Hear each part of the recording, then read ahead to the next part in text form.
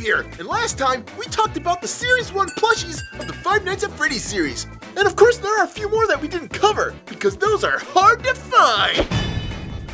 Yep, that's right! This video is going to be talking about all the exclusive plushies that are very hard to find. Right, Zombie Steve? Ooh, find, find! Zombie Steve, wait! Ugh, we have them right here. Let's just get started.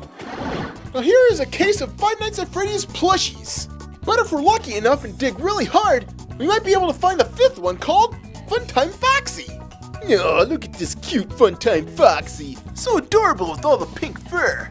Now the reason she's so rare is because each box contains two or three of the main characters, and only including one Funtime Foxy. So that gives us five plushies in all. Whoa. But that's not all, Zombie Steve. Whoa, because there are also exclusives as well. Too many, uh... First exclusive is available only at GameStop, and this is the Toy Freddy. And he's called Toy Freddy because he looks just like a toy, with the rosy cheeks and the top hat and, oh, so cuddly.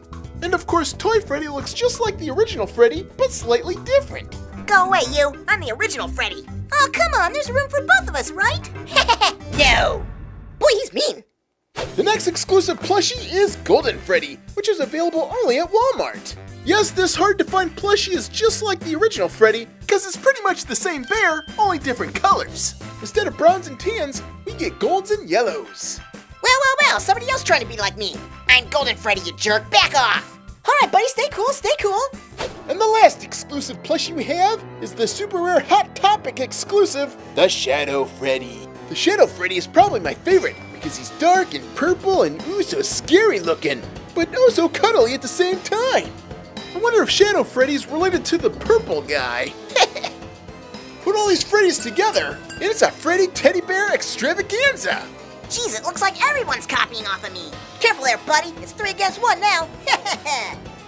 Well, there they are, all the rare Five Nights at Freddy's plushies.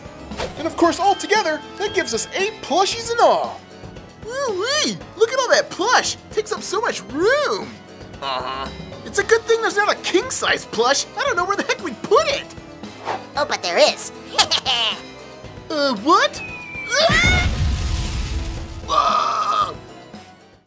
Make sure you subscribe to the Puppet Steve Show for more Puppet Steve in the future, right? Great.